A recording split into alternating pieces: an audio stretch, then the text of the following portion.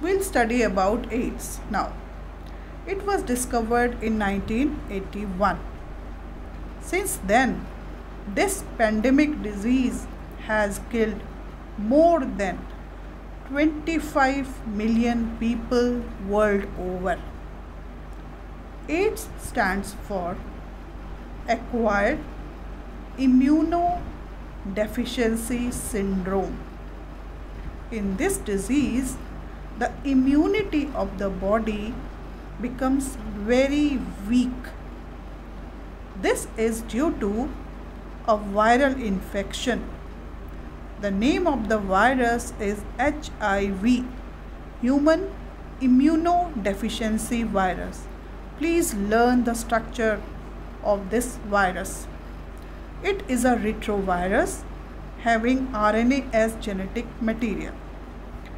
This disease spreads with sexual contact with infected person, transfusion of infected blood, sharing of infected needles and from infected mother to the fetus.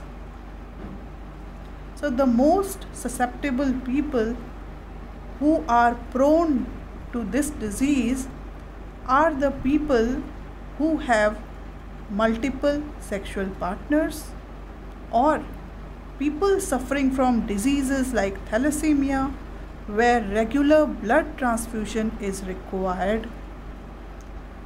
So, this disease spreads only through body fluid. It does not spread just by contact with a AIDS patient or even by sharing any items with the AIDS patient. That's why the stigma should not be there in the society against AIDS people. Let us now understand more about this disease. The incubation period of AIDS ranges from few weeks to many years. Let us now study the physiology of this. This is very important aspect.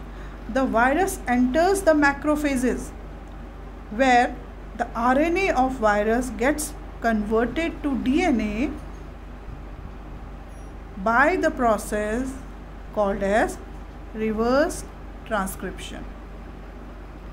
Now this viral DNA enters the nucleus and gets incorporated with the host cell and directs the host cell that is macrophages to produce more of viral RNA. That's why these macrophages act as the viral factory, HIV factory. These viruses now enter the T helper lymphocytes and destroy them. They keep on attacking more and more T lymphocytes. As a result, the immunity of the body keeps on going down. As a result, the person starts suffering from various infections. The infections which are otherwise people are immune to it. AIDS patient, they become susceptible to these infections. Most common of these infections are infections like tuberculosis caused by mycobacterium, other viral infections, fungal infections, even the worms like toxoplasma can enter the body and cause diseases. That's why the immunity of the body goes down.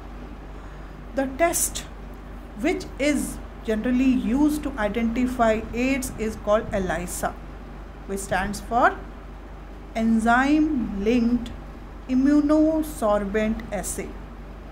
Though there are few drugs or medicines available, there is no cure for AIDS. These drugs can just prolong the lifespan. That's why AIDS is a non curable disease.